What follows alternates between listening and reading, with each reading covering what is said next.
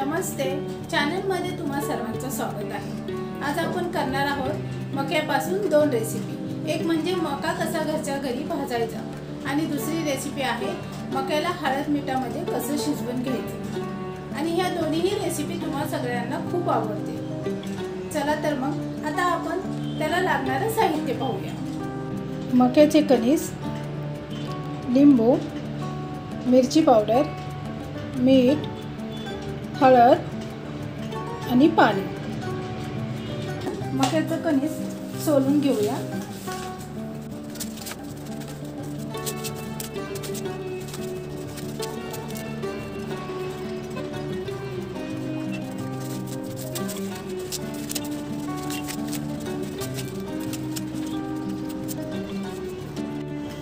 अशा प्रकारे आपली दोन्हीही मक्याची कणसं सोलून झालेली आहे आता आपण गॅस ऑन करूया. यावरती अशी जाळी ठेवायची आहे.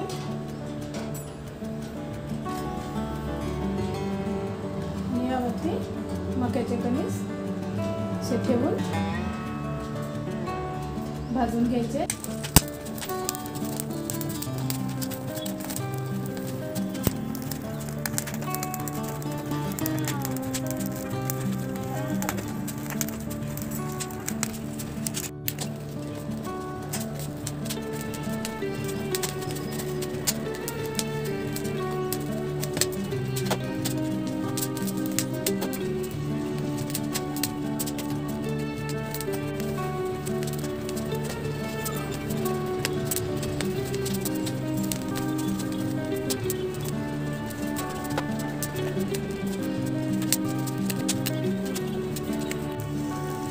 ही दोन्हीही मक्याची कणसं छान भाजून झालेली आहेत. आपण गॅस बंद करूया.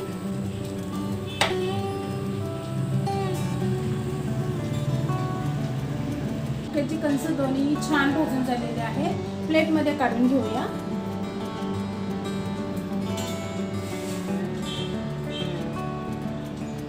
ते मिरची पावडर आहे. या मिरची पावडरमध्ये आपण थोडं मीठ मिक्स करणार आहोत.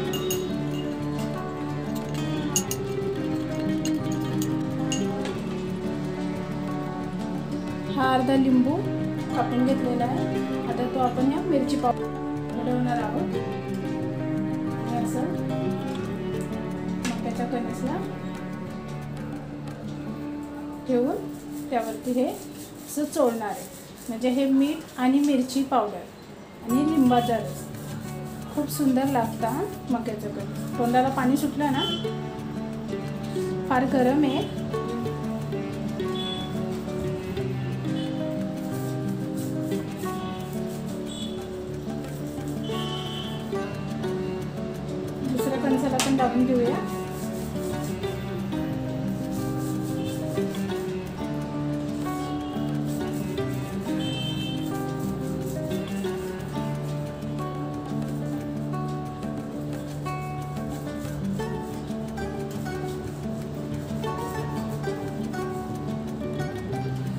मक्याचं कणीस खाण्यासाठी तयार आहे. तुम्ही ही रेसिपी नक्की करून पहा.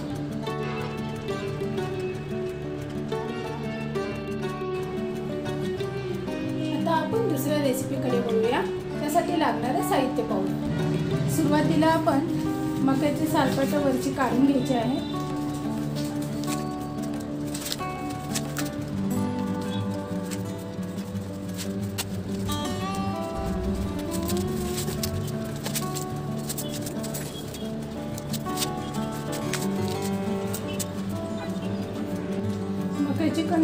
स्वच्छ करून झालेले आहे आता आपण सुरीने त्यांचे दोन भाग करून घेणार आहे.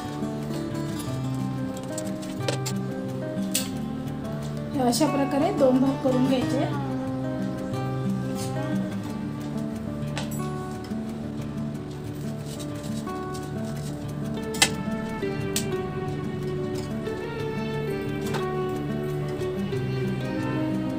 मक्याच्या कणसाचे दोन दोन भाग असे करून झालेले आहेत. तर आपण ते स्वच्छ धुवून घेऊया.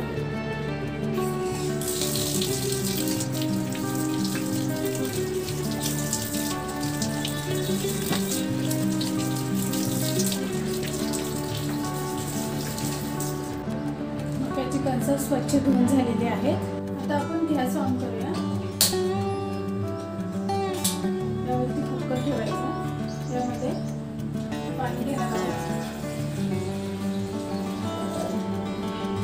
दीड जग पाणी घेतलेलं आहे. या पाण्यामध्ये आपण एक चमचा मीठ टाकणार आहोत. आणि एक चमचा हळद. आणि त्यामध्ये आता स्वच्छ धुवून घेतलेली ही मक्याची कणसं घालायची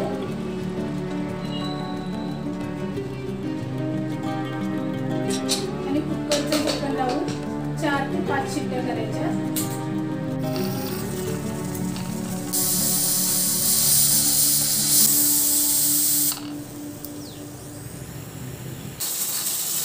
आपल्या कुकरच्या पाच शिट्ट्या झालेल्या आहेत आपण गॅस बंद करूया.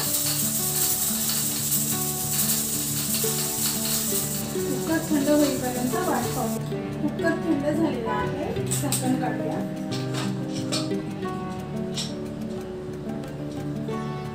मक्याची कणस छान शिजलेली आहेत. चिमट्याच्या सहाय्याने एक एक मक्याचं कणीस बाहेर काढून घेऊया. पाणी सगळं निथळून घ्यायचं. आणि हे गरम असल्यामुळे त्याला चिमटाच वापरायचा.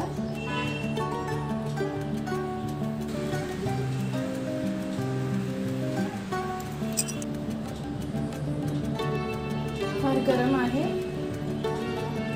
चिमट्याच्या साह्यानेच हे काढायचं आहे. हाताने काढू नका. एक एक करून असं प्लेटमध्ये ठेवून द्यायचं आहे.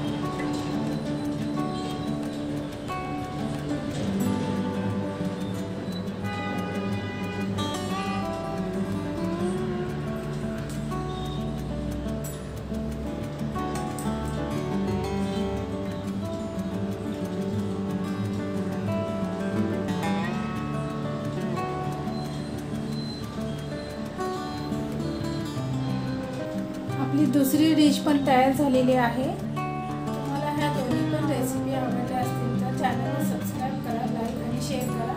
आणि ह्या दोन्ही रेसिपी तुम्ही घरी करून पहा. तुम्हाला नक्की आवडतील.